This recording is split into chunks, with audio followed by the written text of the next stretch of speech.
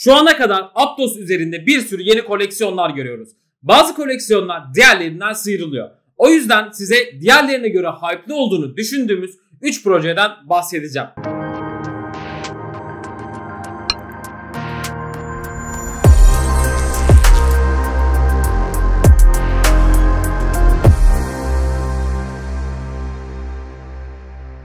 Herkese selamlar. Ben Kripto Kurdu proje ekibinden Ertuğrul. Videomuza geçmeden önce biliyorsunuz ki her videoda 2 yorum atan kişiye 100 TL dağıtıyoruz.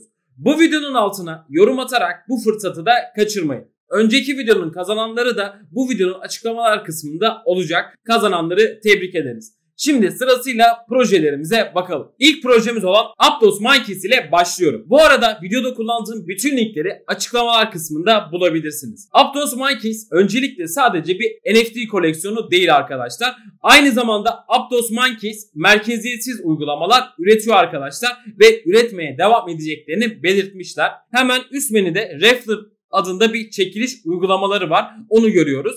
Kısaca bakalım isterseniz buna. Hemen tıklıyorum. Burada gördüğünüz gibi iki tane Aptomingos NFT'sinin çekilişi yer alıyor. Buradaki çekilişlere baktığımız zaman toplamda 1000 tane çekiliş bileti satılacakmış ve her çekiliş bileti de 01 APT karşılığında satılıyormuş arkadaşlar. Yani buradan üretmeye hevesli olduklarını görebiliyoruz. Ayrıca 25 Ekim'de NFT satışları olacak. Hemen Discord'larına geçelim isterseniz. Discord'larına da web sitelerine geldiğim zaman aşağı iniyorum burada Gördüğünüz gibi Twitter ve Discord olarak iki tane buton var. Discord'a tıklarsanız direkt olarak Discord davet linkine erişeceksiniz arkadaşlar. Hemen Discord'larına geçiş yapalım.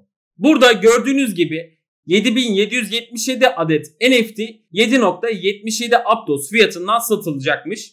Fiyat biraz yüksek gibi ama ekibi Aptos'un fiyat hareketine göre değişikliğe gidebileceğini de belirtmiş. Yani fiyat sabit kalmayabilir. Şu ana kadar gördüğüm kadarıyla satış marketleri açıklanmamış. Mint yaklaştığı için whitelist fırsatı için de biraz geç olduğunu düşünüyorum. Çünkü buradaki How to VL kanalına gidersek aşağıdaki şartlar Twitter Space'lerine, Discord etkinliklerine ve diğer etkinliklere katılıp oldukça aktif olmanız bekleniyor. Olası Public Mint fırsatı ve projeyi takip etmek için bu koleksiyonu hatta projeyi yakından takip etmenizi öneririm. Ayrıca toplulukları Discord etkileşimlerinden de görebildiğimiz üzere oldukça fazla arkadaşlar. Yani bu koleksiyona sahip olmak isteyen binlerce insan var diyebiliriz. Evet arkadaşlar şimdi de ikinci koleksiyonumuz olan Brah Beers'a bakacağız. Solana tarafındaki OK Beers hype'ını ve Buy hype'ını hatırlayan takipçilerimiz vardır. Brah Beers da konsept olarak bunlara benzemeye çalışıyor diyebilirim genel olarak görüntüsüyle. Twitter üzerindeki etkileşimleri oldukça yüksek arkadaşlar. Gördüğünüz gibi bu koleksiyona da insanların sahip olmak için sıraya girdiğini söyleyebiliriz. Aynı zamanda şu anda Aptos üzerinde çıkan koleksiyonların çoğu mainnet sonrası aktif olmaya başladı. Brand Beers'da böyle bir durum göremiyorum. Aylar öncesinden itibaren koleksiyonlarını inşa etmeye başlamışlar. Şu anda bu koleksiyonun mint detayları belirli değil arkadaşlar. Twitter'dan yaptıkları çekilişlerle VL ve Free Mint çekilişleri düzenliyorlar. Zaten burada da bir tane örnek görebiliyoruz. Son olarak bir de Brad Beers'ın Discord kanallarına bakalım arkadaşlar. Web sitesinin sağ üst tarafında yer alan Discord amblemine tıklayarak Discord'larına da buradaki davet linki sayesinde ulaşabiliyorsunuz. Hemen Discord'larına geçiyorum. Discord'larında öncelikle gördüğünüz gibi çok fazla bir kanal bulunmuyor arkadaşlar. Yukarıda da 25.600 kişinin Discord sunucularında olduğunu ve toplamda 423 adet Brah listed yani whitelist hakkı ve 47 adet de Brahçı rolü verildiğini görebiliyoruz. Buradaki rollere sahip olan insanlar whitelist ile mint hakkı yakalayabilecekler.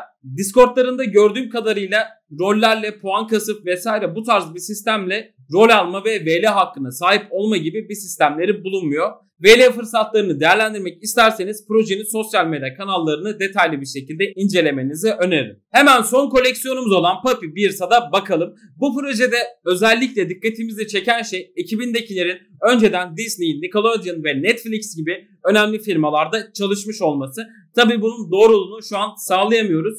Bunu da belirtmek istiyorum. Twitter'larından etkinliklerle yine bunlar da whitelist hakları dağıtıyor arkadaşlar. Buradaki çekilişleri kaçırmamanızı öneririm. Şimdi isterseniz Discord'larına geçiş yapalım ve detaylı bir şekilde nasıl whitelist hakkı alabiliriz gibi konulara bakalım arkadaşlar.